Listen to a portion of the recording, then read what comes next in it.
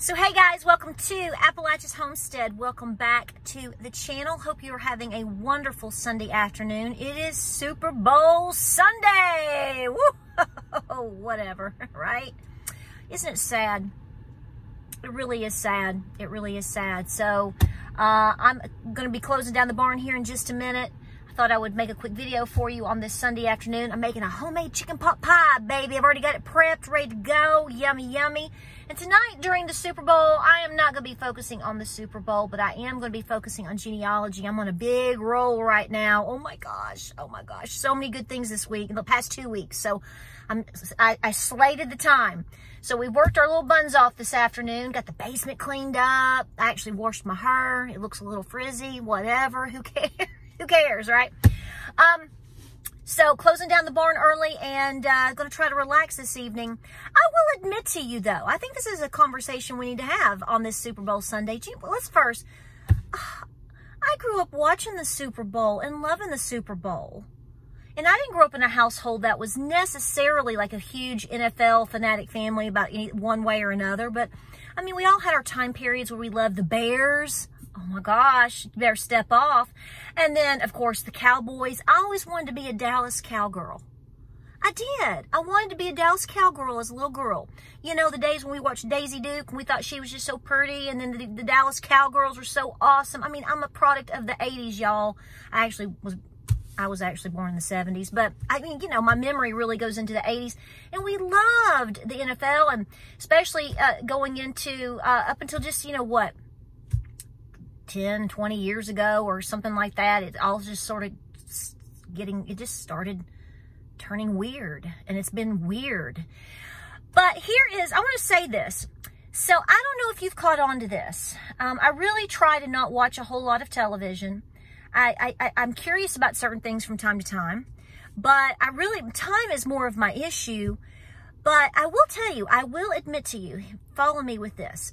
Here's what I'm saying if you were to watch the Super Bowl tonight for any reason, now I know some of you out there are just going to watch it because you love football. Some of you are going to watch it because you you know you love a particular team. Okay, whatever. I don't think my audience here is going to be too um, too involved in worrying about whether or not Taylor Swift makes it to the Super Bowl or not. I mean, gosh, think about all the pollution she's done with those airplanes going all over the uh, wasn't she like flying back from from a tour? Was she like in japan or something? Did i see that on instagram? I don't know. Gosh what are we going to do about her? I hope she didn't eat a steak on the plane. But i'm not really concerned about all that because we all know that's a bunch of shenanigans anyway. But here's what i do think is interesting because i picked up on this with the grammys. Okay.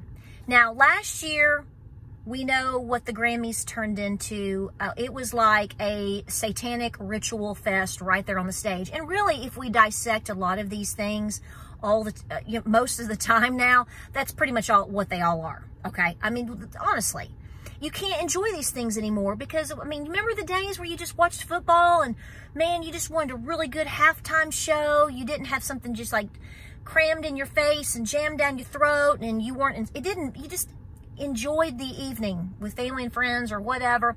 Well, we know it's really not that way that much anymore. So, but here's the thing. You can do some detective work, I think.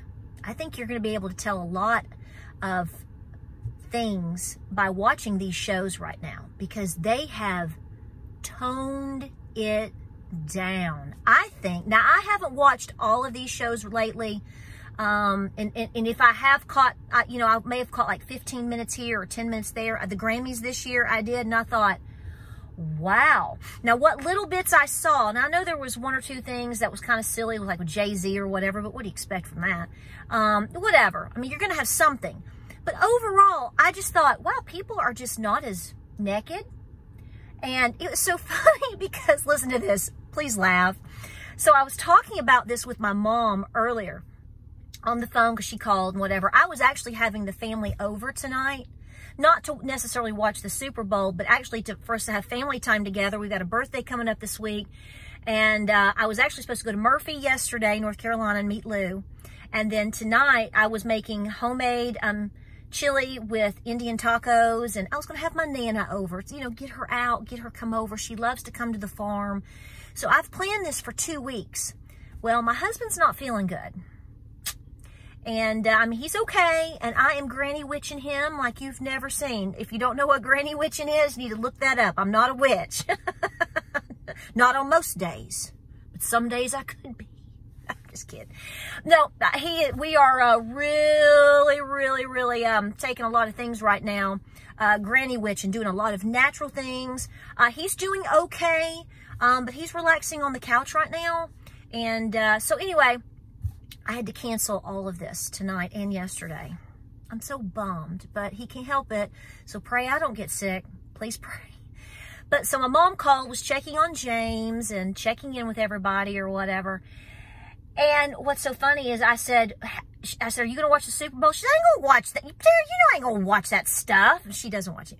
And I said, well, I'm kind of curious if they're going to get out there and show out. She's, I said, you, did you, I said, mom, did you watch the Grammys this year? And she said, I watched a little bit of it. And she said, I, she said, you know what? She said, I didn't see Sam Smith and Satan out there dancing around this year. They sure are changing their tune.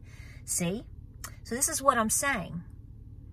There are things going on in front of you and in front of me right now uh, with lots of different media outlets, uh, what they are talking about, um, how certain um, celebrities are changing how they look. They're toning it. I mean, they're still, you know, doing their thing, but they are trying to be a little bit more sub- subdued, um, covered up. I mean, at the Grammys, was it at the Grammys? Christina Christina Aguilera, that's the best I've ever seen that woman look. I mean, I know she's full of plastic. I get that, but that's the bet. And clearly, she's lost a lot of weight. We all know how all these people are losing weight we know that firsthand here at that house. We know all about Ozempic, okay? By the way, I just want to say this. My husband has fully come off of lots of medications, including Ozempic. And if you are taking Ozempic, you better be looking into that. I just want to tell you that right now. You might not want to be taking that.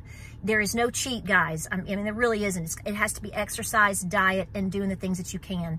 Uh, there's no cheats. Obviously, uh, there are certain medications people have to take. You have to do what you have to do.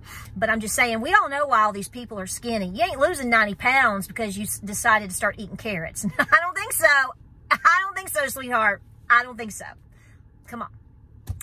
People were covered up more, you know, thanking Jesus and, and being sweet and, you know, singing songs together. I, I just was like, I'm not biting on this. Now, I don't think every single person that was at the Grammys this year is horrific, I'm, so don't take me the wrong way, but the tone is different. So here's what I'm saying. If you watch tonight, what's it going to be like? I mean, it starts here in what, two hours or something like that? But I'm filming this video right now, like six o'clock, six fifty. I don't know. Usually six six thirty. I don't even know. I'm just guessing. Um, but I mean, it is interesting. I want you to see who's singing the national anthem.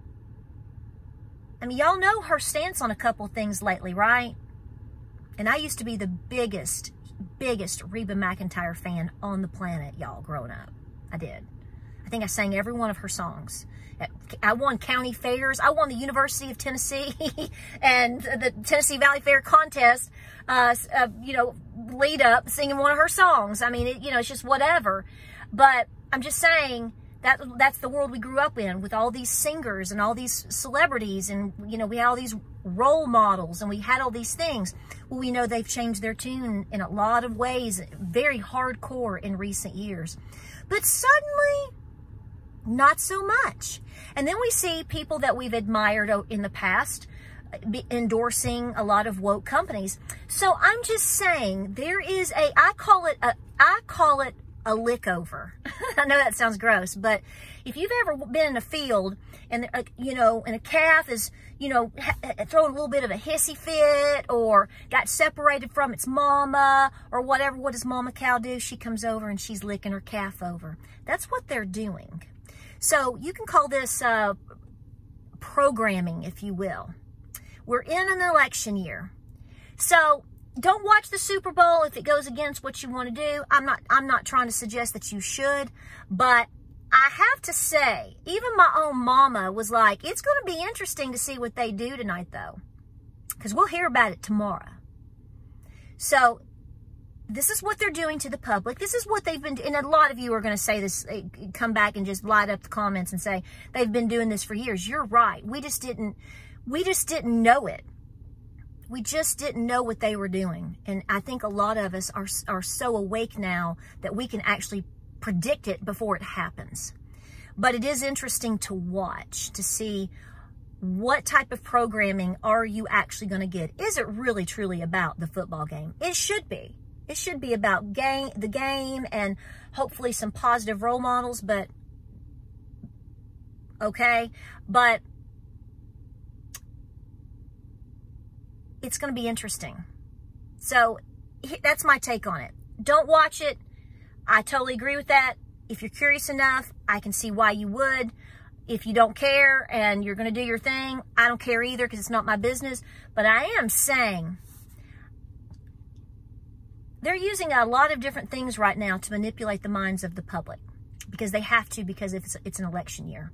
And even though it is an election year, regardless of what they do and how they manipulate things for the rest of the year, again, they have to lick people over to keep you asleep, to keep me asleep, to try to keep us asleep, to think that everything is getting better, is calmer, is patriotic, is all Americana. It's just like the good old days. Oh, say, can you see? I mean, they're going to pour it on thick, real thick. I think. I may be surprised. You never know what you're going to get these days because it's certainly like a box of chocolates. Like, subscribe, and share if you like the video, guys. I appreciate you hanging out with me right now. I'm going to go out here and get in the mud. I'm not going to look like this in about five minutes. So that's why I filmed it before I got out here because it's so muddy. I hope you have a great evening. I hope you do something you love. I'm going to relax with a chicken pot pie. Mm-hmm. And a cupcake. I am. And some good old-fashioned genealogy. And if I get nosy enough, I might glance over there. Because I think it's interesting to see what's playing out before us. But at the end of the day, remember, pray prepare, be peaceful. Keep watching. Like, subscribe, and share. I love you so much. God bless, Godspeed, and guys, I'll see you on the next video.